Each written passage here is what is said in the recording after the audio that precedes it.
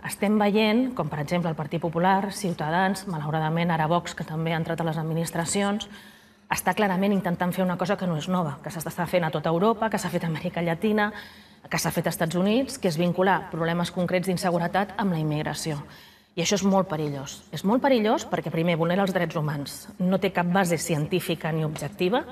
Criminals n'hi ha a tot arreu, de totes les nacionalitats, i també a casa nostra en tenim de propis. Vull dir que no és una cosa que es pugui relacionar amb la immigració. No té cap base científica ni objectiva i, en canvi, forma part d'una estratègia de la dreta més rància i de l'extrema dreta que vol generar aquesta sensació de que quan parlem de ciutat oberta, de ciutat orgullosament diversa, de convivència, de drets humans, quan parlem de la crisi de l'Open Arms, la dreta intenta relacionar els problemes de seguretat amb aquests temes. I això ha de ser una línia vermella per tots els demòcrates. Ha de ser una línia vermella perquè ens hi juguem el futur del país i no podem jugar amb foc. Estem veient el que està passant a altres països d'Europa, el que està passant a Itàlia amb el, amb el Salvini, que és eh, quasi feixisme el que estem veient.